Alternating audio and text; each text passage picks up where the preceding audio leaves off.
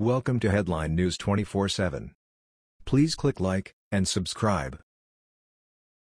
Huge billboard in Maryland has libs panicking over what's coming after attacking Trump, it's a promise.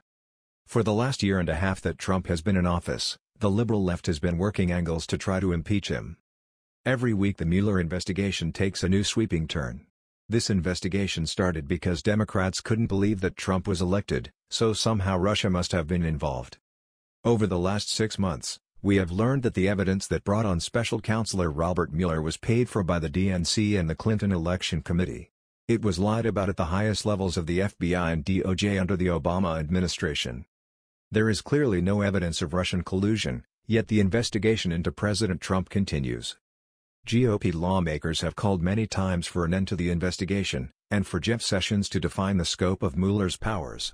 The DOJ has remained defiant. Across the country, extreme right-wing conservatives are stirring. They think that Trump will eventually be up for impeachment and that has them talking. In a small town in Virginia, a billboard has popped up that has liberals calling the sheriff. Local 12 writes, Huntingtown, Maryland, WJLA, dash there is a lot to read these days when you drive down Solomon's Island Road in Calvert County. Politicians looking for votes, businesses looking for customers, and then one sign at Bowie Shop Road that is turning a lot of heads. Hey liberals, it reads. Better get your guns if you try to impeach President Trump. From all of your deplorables in Calvert County. I love the billboard, Michelle Rinker said.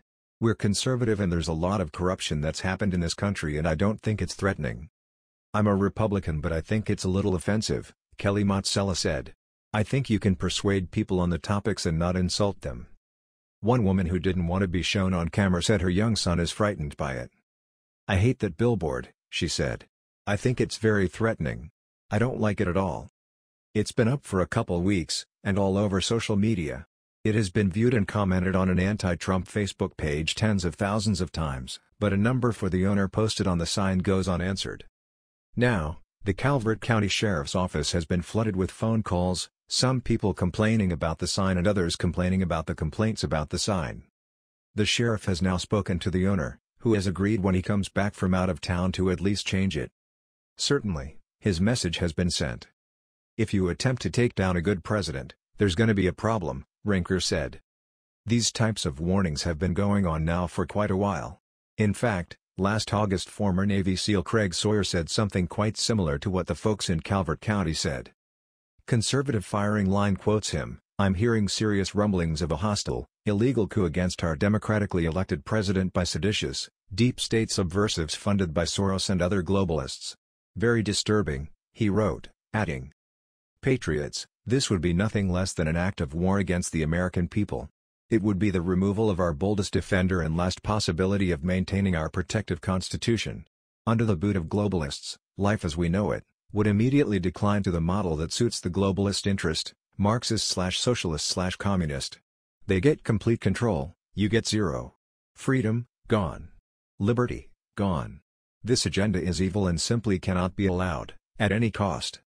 Like all military, law enforcement and government officials, I took an oath to defend our Constitution against all enemies, foreign and domestic.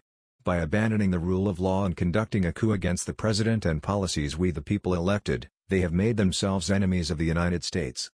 After observing that all patriots, regardless of position, have a duty to protect the Constitution, Sawyer minced no words detailing what he believes would happen to those involved in Trump's removal and he explained why. Anti-American subversives involved in any way in an unconstitutional coup against our president will be run down and executed immediately by the world's most supreme warriors. There will be nowhere to run to, nowhere to hide, no mercy, no sense of humor. Harsh examples will be made. My prediction is it will be a gruesome massacre. Why? Because one side in this conflict has 8 trillion bullets and the other side doesn't know which bathroom to use. And, he added, it won't take very long, it will likely only take a few hours. Lessons will be learned. History will take note. Order restored. While these examples are extreme, we have watched this witch hunt go on now for the president's entire term in office. Where will it end? It's time for Jeff Sessions to resign or be fired. To allow this investigation to go on like this with no boundaries to the scope of the investigation is outrageous. President Trump isn't bothered by the chaos, the harder the storm blows the more he accomplishes. Let's hope for our country that he is able to continue on for two terms. That was the news. We thought you might be interested in knowing about this. Please click like and subscribe. Thank you.